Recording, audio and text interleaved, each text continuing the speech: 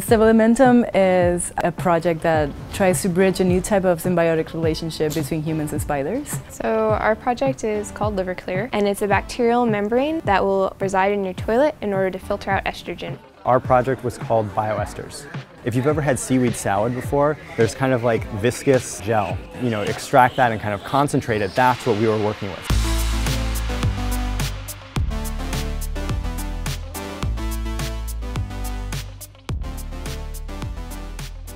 We are now in a culture where everything's about the pitch. You know, you go to an accelerator and they have a demo day and it's all about sell, sell, sell. We're trying to do something very different. We're saying think, think, think. The three goals of the challenge have been one, to create a community of scientists, designers, and artists who are all collaborating together. Goal number two has been inform the public about what the potentials of the technology might be and number three, hey, let's see some fresh ideas in the space of biotechnology. Let's see what we can do. As droughts and desertification are increasing on the planet uh, worldwide um, and existing water sources are rapidly depleting, we do need to look for other sources of water. And the uh, various members of the Opuntia genus actually have this great ability to collect water from fog with specially designed spines. So what we did is took inspiration from these cacti to create uh, synthetic panels that can basically do the same thing.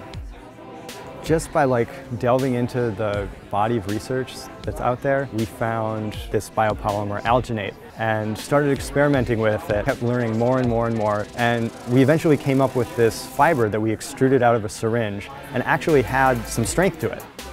Fibers are kind of what make the uh, textile industry run, and rather than you know, growing it in forms we can extrude it and use any existing knitting machine to fabricate the product that we're looking to make.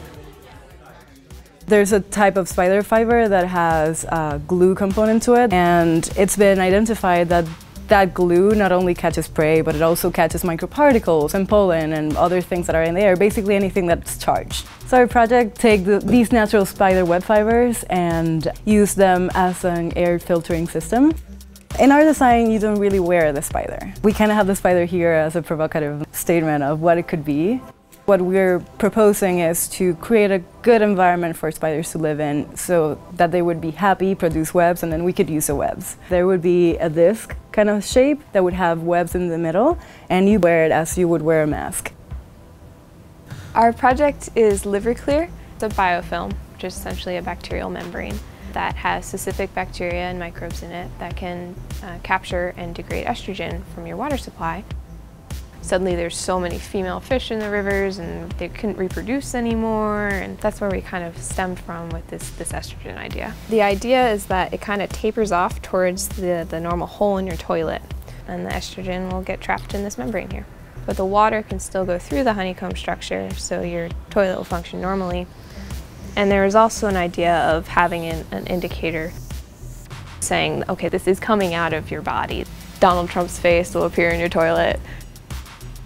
I think the judges were excited to see that the students, even though they were art and design students, actually delved into the science. To be perfectly frank, it's not ready for showtime, but that they had made the material, that they had thought about how it might work, how it's different from materials that are already out there. I think they were excited that the students had explored context.